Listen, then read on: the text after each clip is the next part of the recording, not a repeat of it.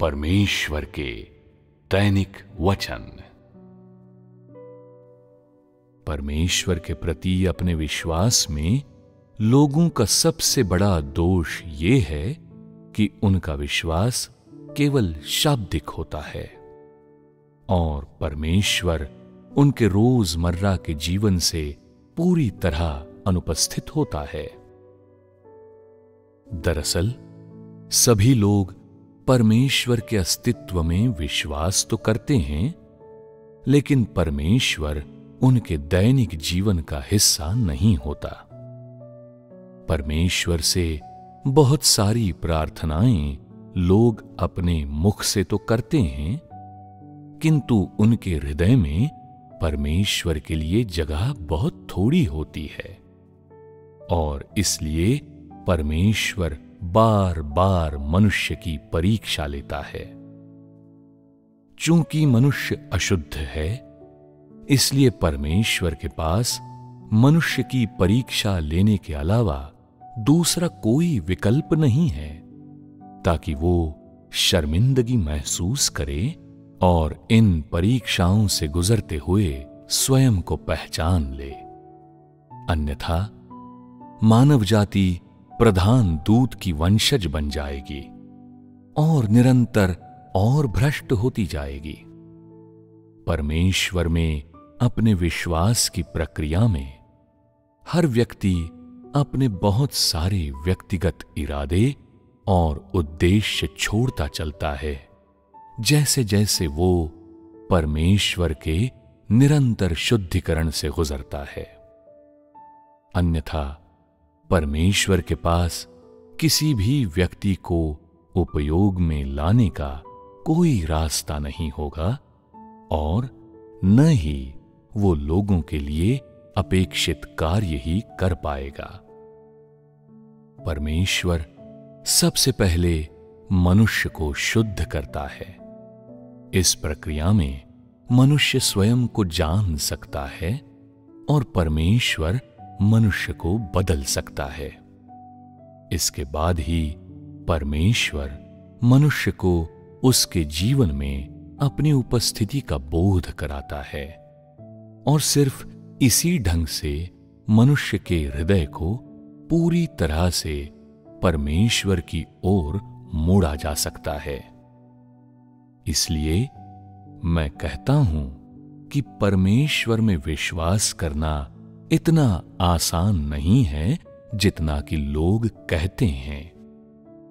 परमेश्वर की दृष्टि में, यदि तुम्हारे पास सिर्फ़ ज्ञान है, किंतु जीवन के रूप में उसका वचन नहीं है, यदि तुम केवल स्वयं के ज्ञान तक ही सीमित हो और सत्य का अभ्यास नहीं कर सकते, या परमेश्वर के वचन को जी नहीं सकते तो ये भी एक प्रमाण है कि तुम्हारे पास परमेश्वर से प्रेम करने वाला हृदय नहीं है। और ये दर्शाता है कि तुम्हारा हृदय परमेश्वर का नहीं है। परमेश्वर में विश्वास करके ही उसे जाना जा सकता है। ये अंतिम लक्ष्य है। मनुष्य की तलाश का अंतिम लक्ष्य। तुम्हें परमेश्वर के वचन को जीने का प्रयास करना चाहिए, ताकि अपने अभ्यास में तुम्हें उनकी अनुभूति हो सके। यदि तुम्हारे पास सिर्फ़ सैद्धांतिक ज्ञान है तो परमेश्वर में तुम्हारा विश्वास बेकार हो जाएगा।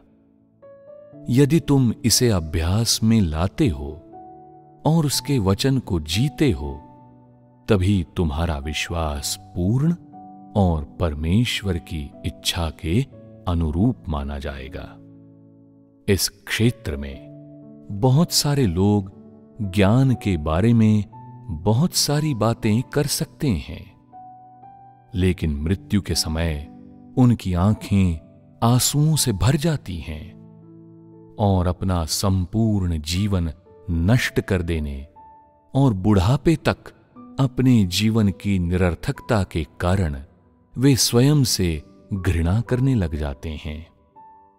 वे केवल सिद्धांत समझते हैं, लेकिन सत्य को अभ्यास में नहीं ला पाते। न परमेश्वर की गवाही दे सकते हैं। इसके बजाय वे बस यहाँ वहाँ मधुमक्खी की तरह दौड़ते भागते रहते हैं।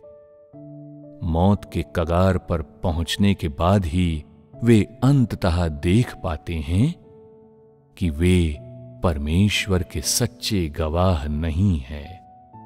वे परमेश्वर को बिल्कुल नहीं जानते। क्या तब बहुत देर नहीं हो गई होती है? फिर तुम वर्तमान समय का लाभ क्यों नहीं उठाते?